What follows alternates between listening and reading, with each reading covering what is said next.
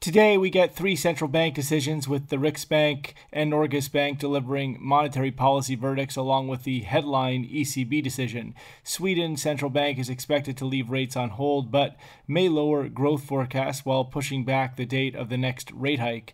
In Norway, the market is also expecting a hold but will be queuing in to see if there are any comments from the central bank governor on the recent slide in the krone. Of course, most market participants will be more interested to see what comes of Mario Draghi's final meeting as ECB president, though no changes are expected after the ECB had already unveiled its broad monetary stimulus package a few weeks back.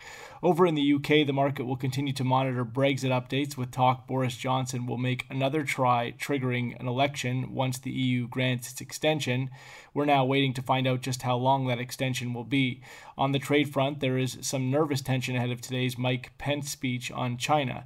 As far as the economic calendar goes ahead of the ECB decision, we'll get some PMI reads out of Germany Germany and the Eurozone. Second tier data out of the UK won't factor into price action, and the market will look for a little more volatility post ECB with US data out that features initial jobless claims, durable goods, and new home sales.